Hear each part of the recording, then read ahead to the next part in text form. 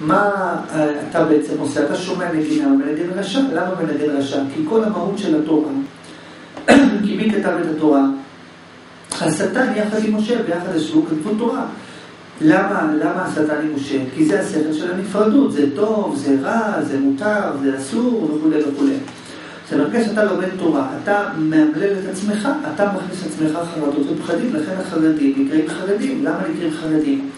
בגלל שהם סובלים מחרדות. הם אומרים, זה אסור, זה מותר, שאני לא אעשה עבירה, שככה, כל הזמן הם חרדים, יש להם כל הזמן חרדה, מה אלוהים רוצה ממני, מה אלוהים רוצה, כל הזמן בחרדה.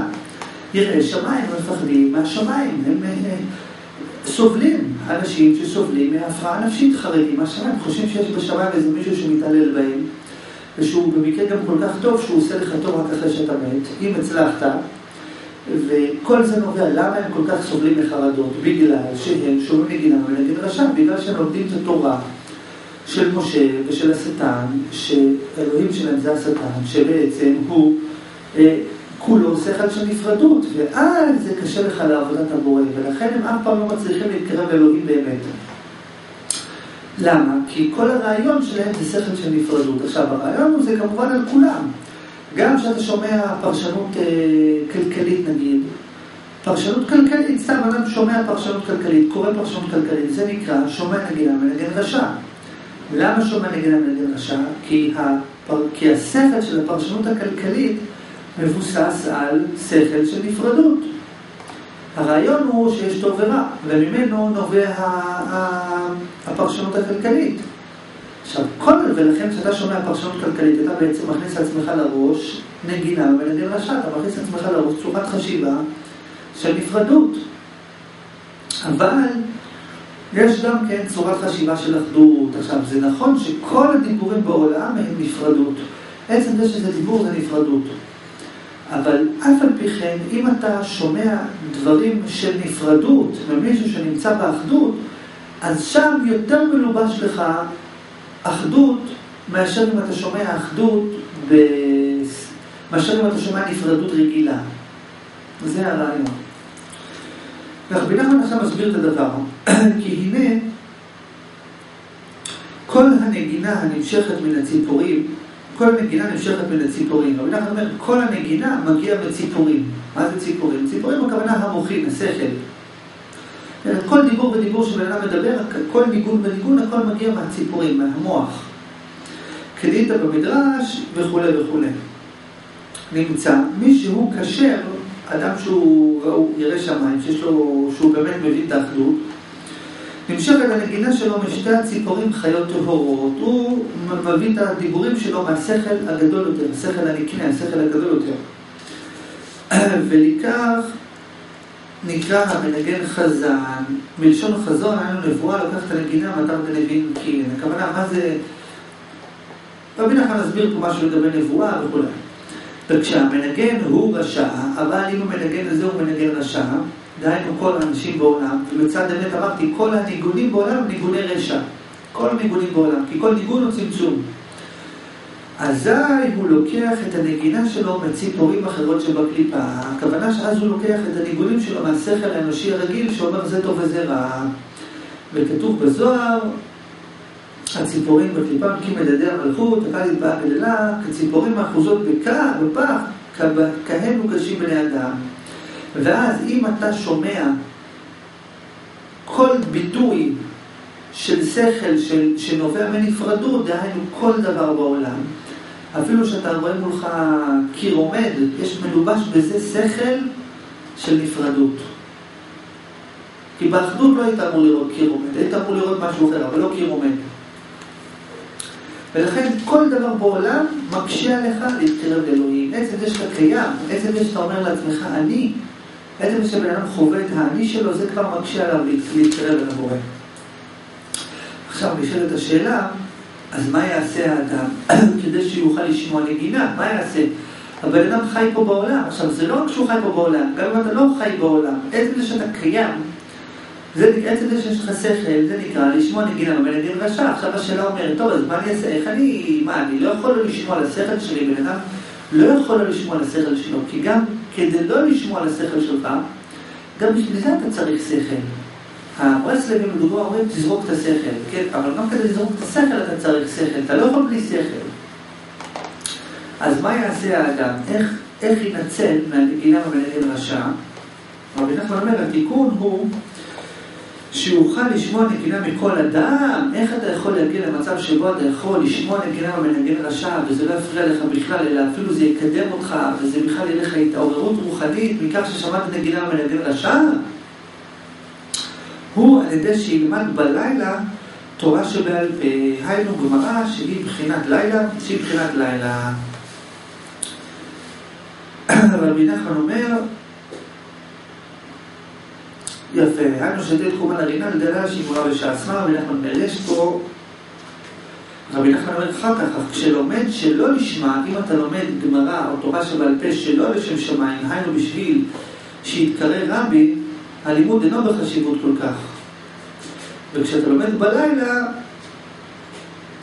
רק בלילה, וכשאתה לומד בלילה חוט של חסד נמשך עליו ומגיע עליו שלא יזיק למחשבה הנעל. מה זה אומר העניין הזה? אז רבי נחמן בהמשך, נראה לי בתורה ט"ו אולי, משהו כזה, שמה, כן, בתורה ט"ו, בתורה ט"ו באות ה'. שם רבי נחמן הסביר יותר טוב את הנושא הזה. אז העניין הוא די פשוט. יש בעיקרון שתי תורות. יש דבר שנקרא תורה שבכתב ויש דבר שנקרא תורה שבעל פה. שתי תורות. ורבי נחמן מסביר, עכשיו כל דבר, כל דבר גשמי הוא ביטוי של דבר רוחני. זאת אומרת, האינטראקציה, מערכת היחסים שיש בין התורה שבעל פה לבין התורה שבכתב, נגיד את זה עוד פעם, האינטראקציה שיש בין התורה שבכתב של היהודים לבין התורה שבעל פה של היהודים היא בעצם מרמזת על משהו רוחני יותר.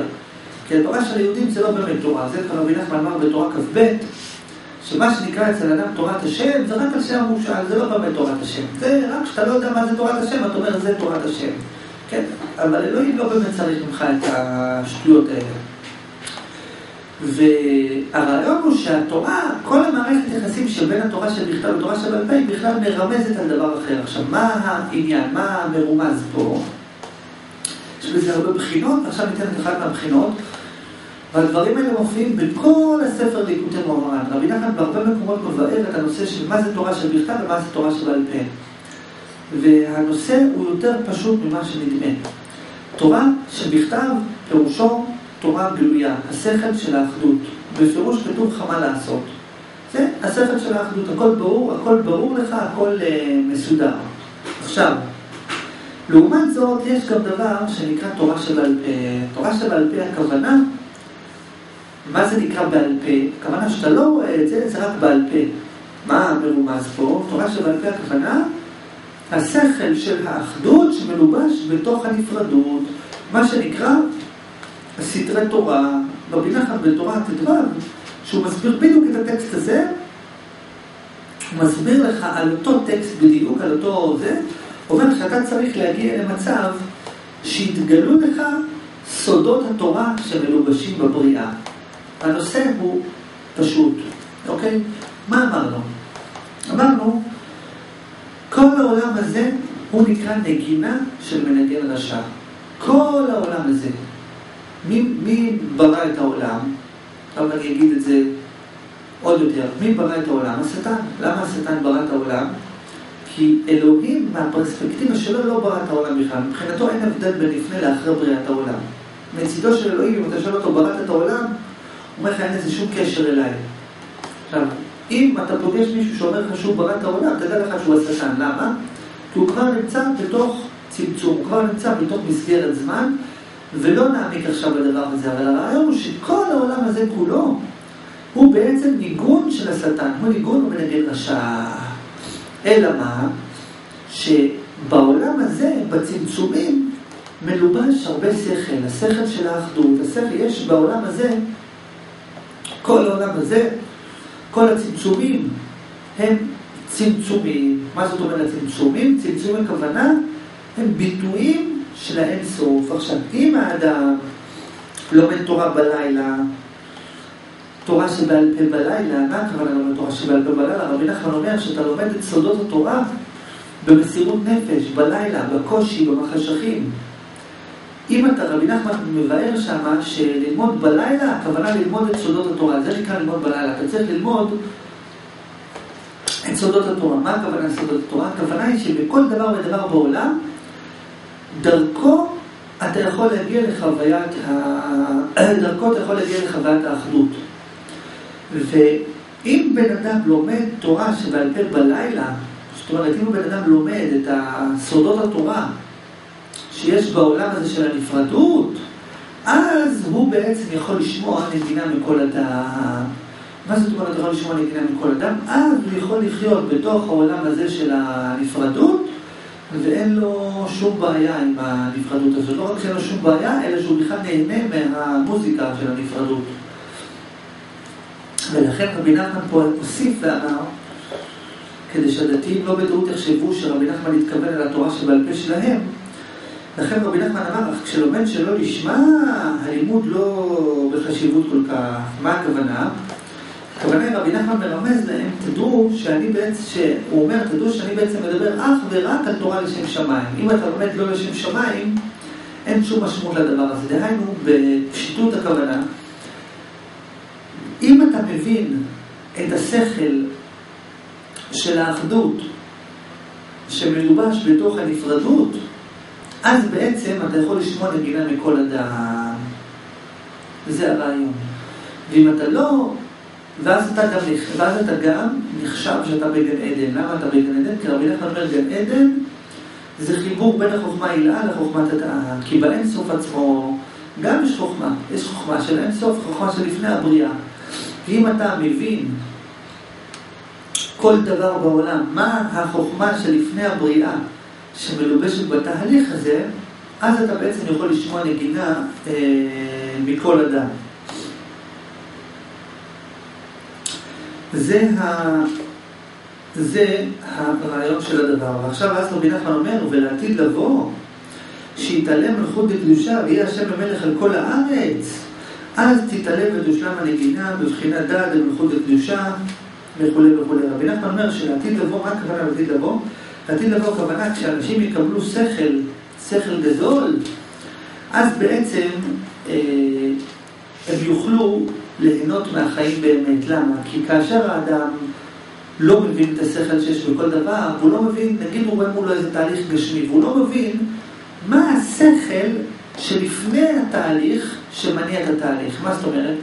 כל דבר בעולם שקורה, כל הדברים בעולם הם ביטויים של לוגיקה אחת, שלפיה פועלת כל המערכת חוקים של העולם. עכשיו, ברגע שהאדם מבין מהו אותו שכל, מהי אותה לוגיקה שלפיו פועלים כל החוקים שבעולם, אז הוא חי חיים אחרים לגמרי, אז זה כבר לא מפריע לו הצמצומים שיש פה בעולם, הוא אפילו מה שנקרא טוב מאוד. זאת אומרת, לא רק שזה טוב, זה אפילו טוב מאוד, זה יותר טוב מטוב.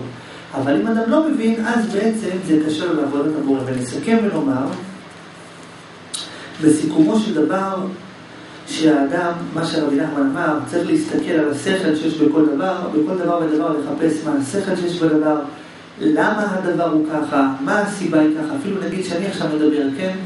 מישהו רגע, אבל מה הסיבה שהוא אמר את זה ככה, אבל מי אמר שזה נכון, אולי ההפך זה נכון, אולי ההפך, אולי מה שליד אמר זה הכי שטות מוחלטת, מה שרבי נחמן אמר, מה שאלוהים אמר זה הכי שטות מוחלטת, ובדיוק ההפך של זה נכון, אולי בדיוק ההפך זה נכון. ולהסתכל בשכל שבכל דבר, ואז על ידי שאדם מסתכל בשכל שבכל דבר, על ידי זה בעצם הוא יוצא מהצמצום ורואה את השכל של האחדות שמלובש בתוך הצמצום. זאת אומרת, הוא לא חווה את הצמצום כצמצום, אלא חווה את הצמצום כביטוי של האחדות. הוא לא חווה, לדוגמה, את מה שאני אומר עכשיו כאמת מוחלטת, אלא הוא חווה את מה שאני אומר עכשיו כביטוי של אמת מוחלטת. ואז האדם נהנה מהיופי של האחדות שמלובש בתוך הנפרדות, ושיהיה לכולם המשך יום של מוזיקה יפהפייה וטובה באמת. תודה.